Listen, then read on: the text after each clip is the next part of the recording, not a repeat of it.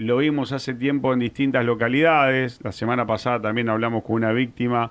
Eh, hace un tiempo hablamos con uno de zafó de la nada, eh, porque se le querían meter a la casa. Eh, en Santoto lo vivimos, lo vimos en Arroyo Aguiar. Santoto también querían ganar en la vivienda. Barrio Barranquita.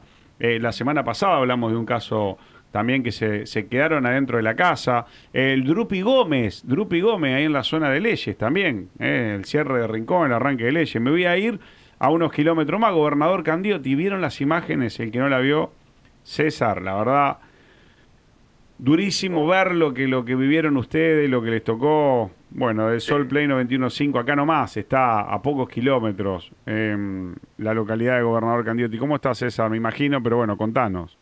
Sí, hola Velázquez, buen día, ¿cómo te va? Bien, ¿usted eh, cómo le va? Bueno, decirte bien es una forma de decirlo eh, sí, con bronca, con impotencia, eh, lo que vivieron mis padres, mi hermano, eh, es algo que no, no, no tiene, no tiene descripción.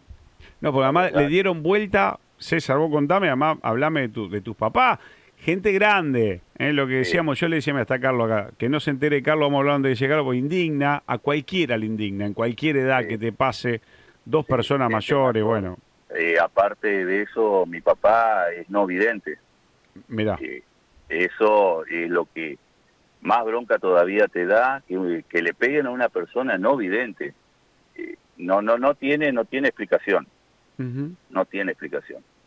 que hayan entrado en la forma que entraron, con la brutalidad, pegarle a una mujer, pegarle a mi mamá, arrastrarla por el piso. No, no, mi mamá tiene 76 años, mi papá tiene 78. ¿Qué, qué, ¿Qué pueden llegar a ejercer ellos en defensa? Nada, nada. Nada. Respuesta nada. Y contame del... A ver, vamos a hablar de, la sospecha de, que tengan ustedes ahora, porque acá la verdad, el otro día decíamos, ¿sabían si era lo del Drupi o no? En Desvío Arijón, me decía, y pero viste que vienen estos años, sabían que había, si había algo o no, pero te, insisten con dame la plata, te pegan.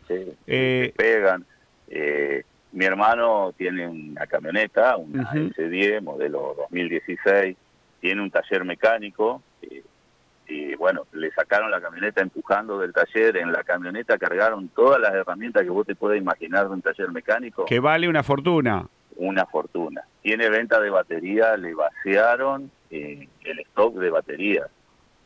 Le llevaron una hidrolavadora, una motosierra, y después lo que no la podían hacer arrancar a la camioneta, entraron de nuevo, le volvieron a pegar a mi hermano, porque a mi hermano antes de esos golpes le metieron cuatro culatazos en la cabeza, exigiéndole plata, exigiéndole armas. O sea, la plata que tienen en la casa es como cualquier familia, que tenés para la vida diaria, bueno, eso, eso, viste, le hablamos siempre, eso te pregunto, y nosotros le decimos hace un tiempo en una localidad también chiquita, acá unos 30 kilómetros, eh, la pregunta era, ¿habían vendido algo? ¿Se sabía de alguna compra, de un, posible, viste, que uno consulta por Facebook para comprar o algo? No, nada. No, nada, nada, nada, nada, no, no, es más, no, no, no se hizo ninguna operación como para decir, sí, eh, tengo X cantidad de plata dentro de la casa. Nada. Te consulto esto antes de afirmar. ¿Se llevaron dinero en efectivo? Se llevaron, se llevaron. Sí, sí. Te digo, no, o sea, lo, lo diario no, no, no es algo que vos me decís, teníamos para hacer, qué sé yo, la compra de un vehículo, la compra de una casa, lo que sea. No, no, eh, el movimiento que vos podés llegar a tener dentro de tu casa. Te, lo, te lo blanqueo directo porque en algunos lugares se habla de 800 mil en efectivo, digamos, más los elementos de esto de valor que, la verdad, las herramientas desconozco, pero eh, es un valor enorme.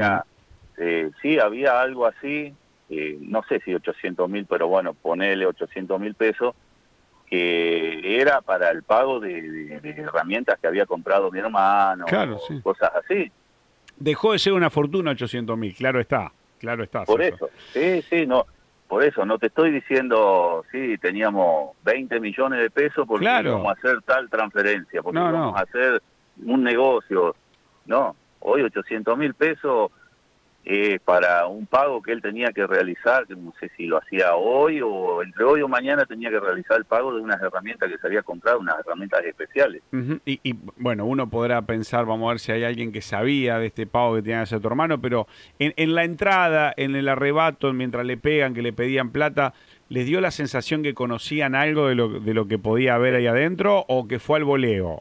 No, no, es alguien que conocía el movimiento de la casa eh, porque entraron y lo primero que hicieron es cerrar las cortinas que tiene la casa hacia el lado este, que da sobre la ruta nacional número 11. Es lo primero que hicieron. O sea que conocen el movimiento, que alguien podía llegar eh, porque un 10 metros, 10, 12 metros hacia adelante hay una verdulería que da sobre la ruta. Y la verdulería todavía estaba abierta, porque fue a las siete y media de la tarde. La verdulería cierra a las 8. O sea que ellos sabían todos los movimientos, sabían por dónde entrar. Todo. Eh, porque entraron por la parte de atrás de la casa, que tiene una puerta. Eh, no entraron por el frente. César, imagino, de contame, digo, cara, cara tapada, eh, algo uno encapuchado, sí. uno encapuchado, el otro cara descubierta y cuando entró, que la alcanzó a empujar a mi mamá al suelo, le sacó un repasador que tenía arriba de la mesada y con eso se tapó la cara. Bien. Bien. Eh, se quedaron, porque digo, revolvieron todo. El que ve la, las imágenes, nuestro canal de YouTube, digo, revuelven esto de buscar, me imagino, un, un fajo, buscar algo de billete, buscar algo de valor, ¿no? Revolvieron, dieron vuelta todo. Todo, todo, todo, todo. Todo. Y desde adentro los roperos, dar vuelta a los colchones, todo, todo, todo, todo. Toda la casa estuvo dada vuelta. Y, se de cuenta que la casa le diste un giro de 180 grados. Sí, la verdad que la y, y mucha sangre se ve en las fotos. Sí. digo, la hazaña, ¿a, quién, a quiénes? ¿A todos golpearon? ¿Tu mamá, todos sangrados? ¿Cómo fue la eh, situación? A mi mamá le dieron golpes, pero no cortantes. A mi papá le dieron dos culatazos en la cabeza, a la altura de la nuca. Y a mi hermano le dieron cuatro culatazos en la cabeza.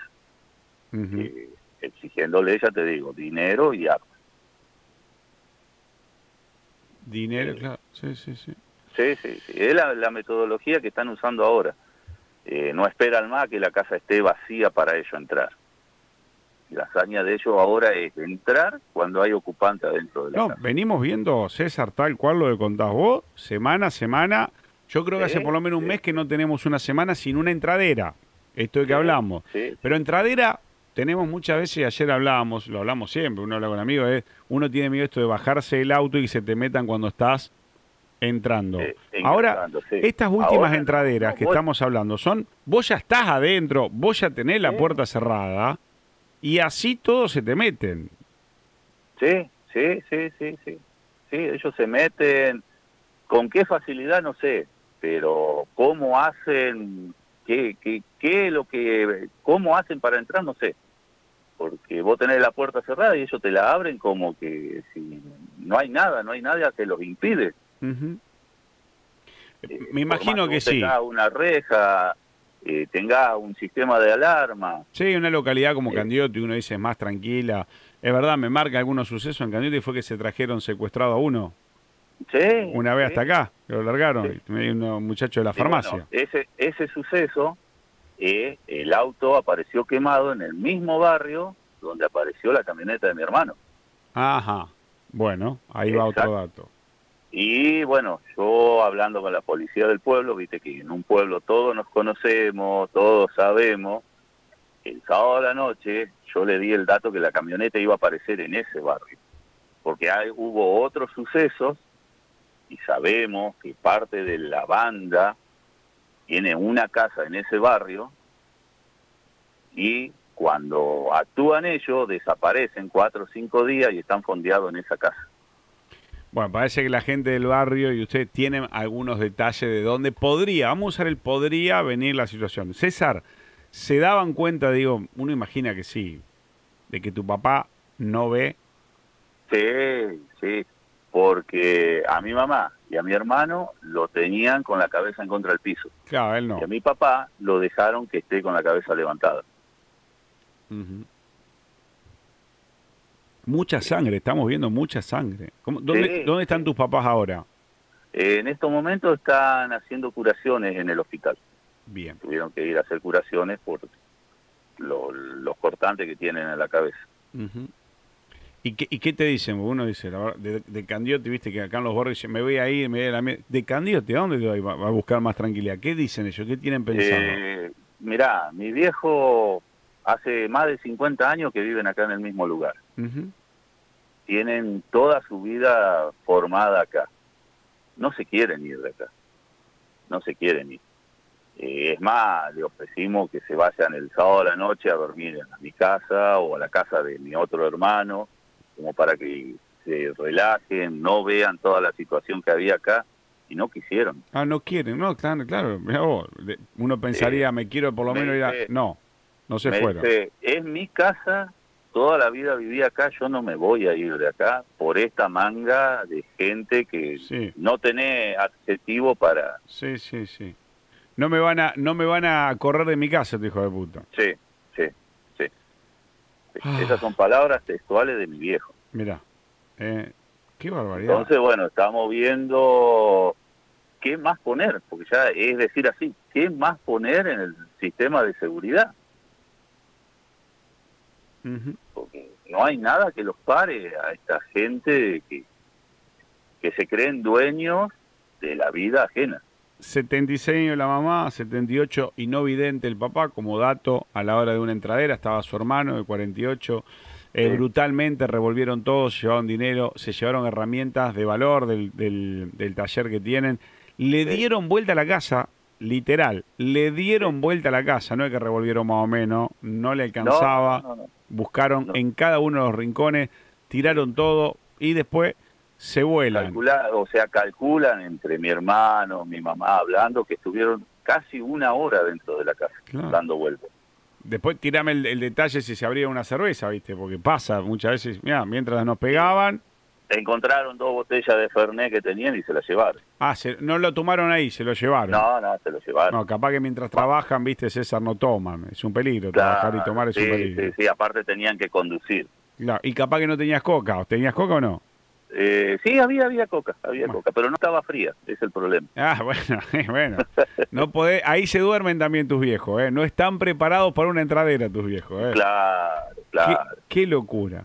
César, querido, bueno, te voy a conformar con la estupidez de siempre. Están, tus viejos están ahí, van a volver a dormir a tu casa. Sí, eh, sí. Se llevaron ahí, van a poder, van a, poder seguir eh, en, su, en su vivienda, la que no quieren dejarla de Candioti. Te mando un abrazo, gracias por tu tiempo otro para vos y bueno, gracias por la comunicación y para que por lo menos se difunda esto y a ver si la justicia por lo menos toma un poquito de, carta en el asunto y pone lo que tiene que poner arriba a la mesa y empiecen a, a poner un poquito de mano dura, porque acá no se precisa mucho. Es un poquito de mano dura, nada más. Eh, César, hijo de, de, la, de, las víctimas, hermano de uno de ellos también, violenta, violenta. Eh. Pueden verlo ahora en Sol Play 91.5, yo estoy viendo las imágenes, el piso, la sangre, una locura. 9.29 de la mañana, obviamente la gente está indignada. Eh, lo de la policía, bueno, veremos ahora, vamos a esperar que trabaje, a ver si damos con alguien. No es fácil reducir estas cosas, me dice uno.